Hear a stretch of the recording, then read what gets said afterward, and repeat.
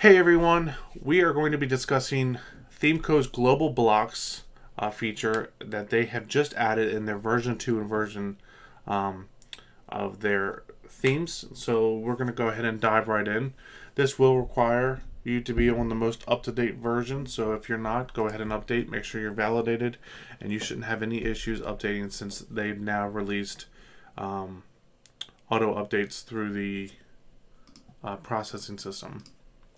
So if you navigate to your Pro menu here, or if you navigate over here, you'll see a Global Blocks section. Hey Karen.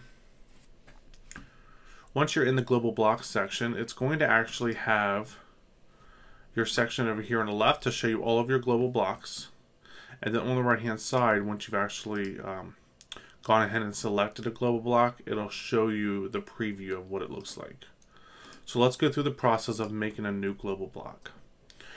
What you're going to do is go ahead on the left hand side, you're going to click add new and you're going to name it. So let's uh, name this one contact form. We're going to make something similar to this one.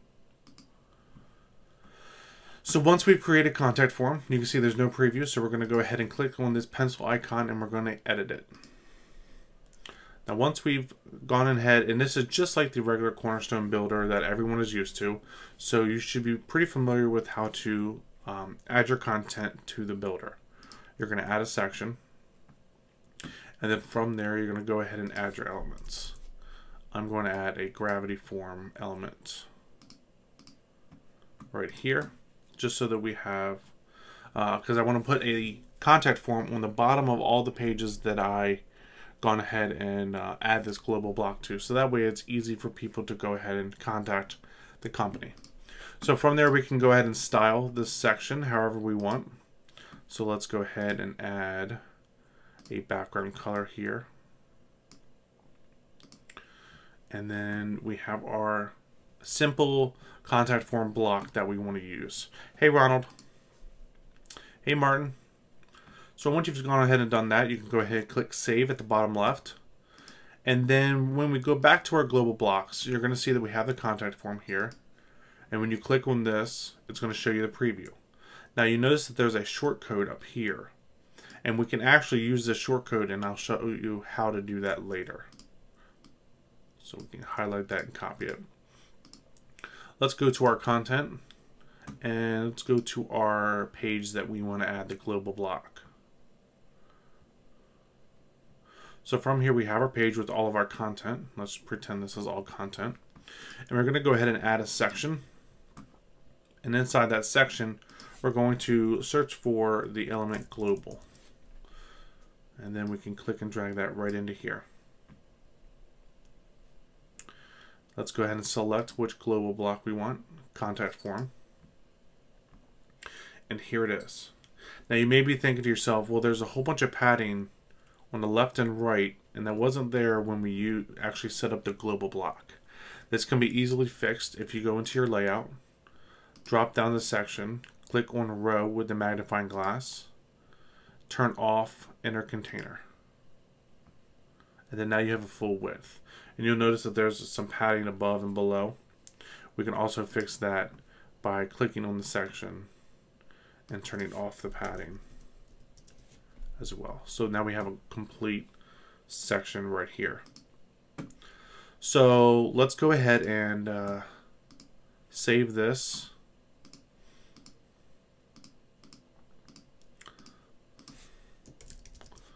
Let's save this as a template so we can easily insert this into other pages um, just for demo purposes.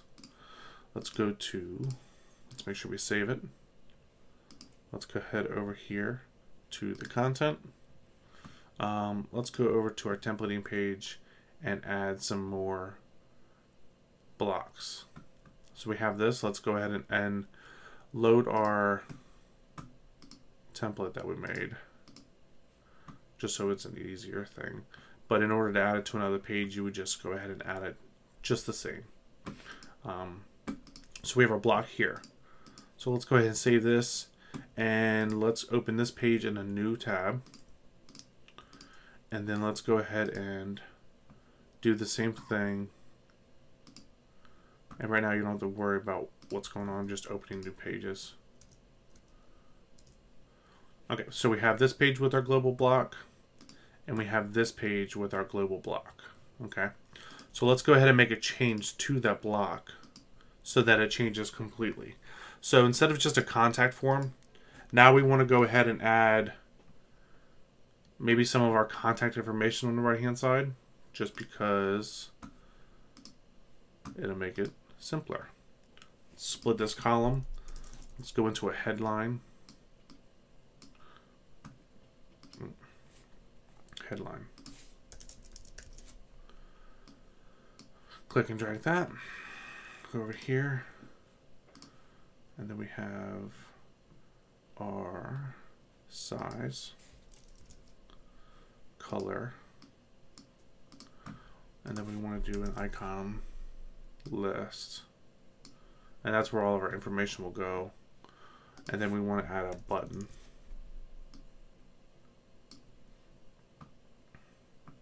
Perfect. So this is where we're editing in our global block. So now we have this and we can actually go ahead back to our other pages and refresh.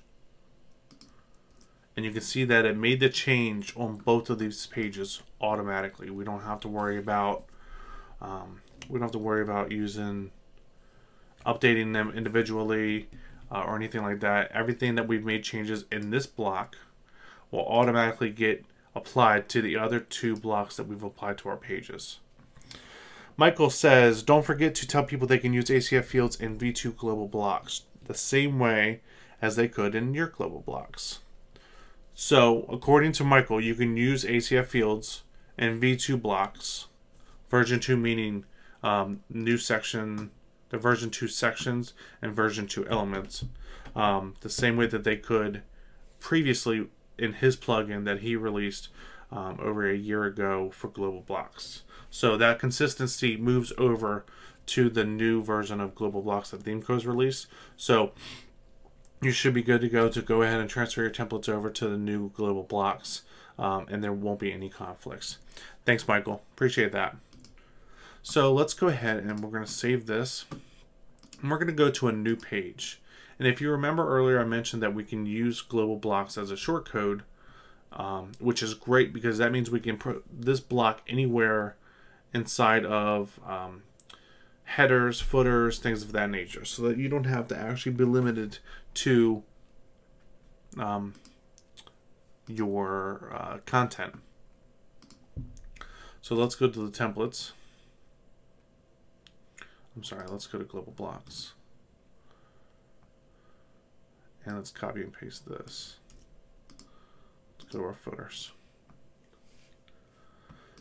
Let's go ahead and make a new footer.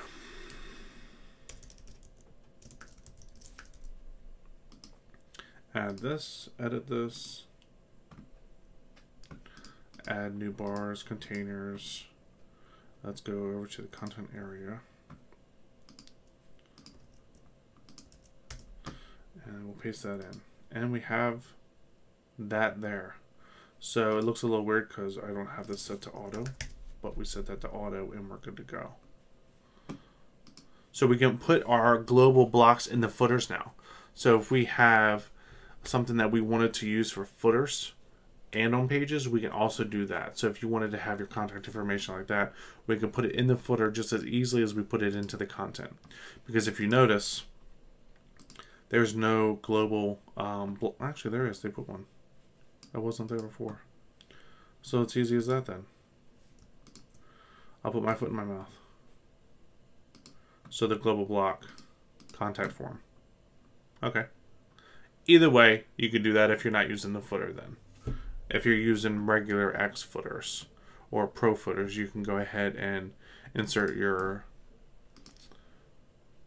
your short code inside of the footer here. If you wanted to do something like that. If you're not using the footer builder. Okay.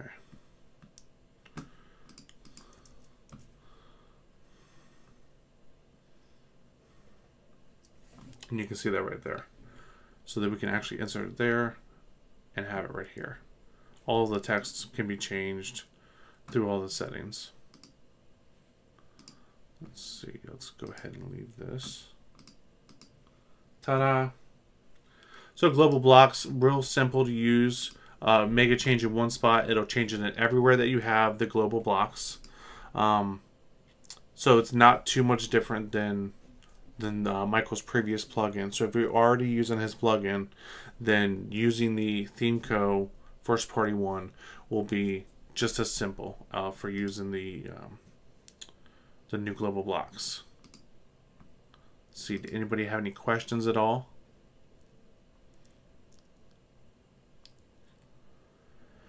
Thanks, Karen. It was great to have you. Catch up later.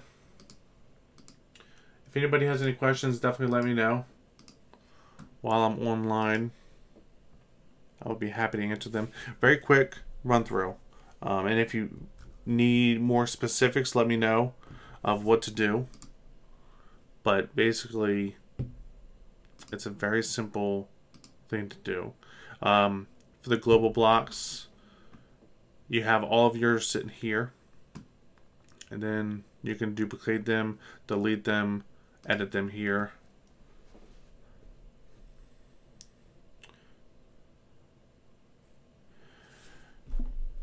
Ronald, so if if you change the padding, yeah, you won't be able to change the padding on a, on a per use basis. You would only be able to change the padding here um, while you're editing the block. So if maybe the maybe it would be great if you wanted to insert it at the bottom of a blog post and you're going ahead and you're using some type of builder to do that. It might work there. So if you wanted to do a global block at the bottom of your posts or at the bottom of your custom post type, you can go ahead and add the shortcode in in your builder and it'll go ahead and take the shape of the section and then you don't have to change it on every single blog post. You can just change it in the shortcode settings. So that could that could be a very good use for the um, for the shortcode of the global block. Thank you guys for joining me. Um, I hope you guys have a great rest of your day, and I will see you guys on Monday.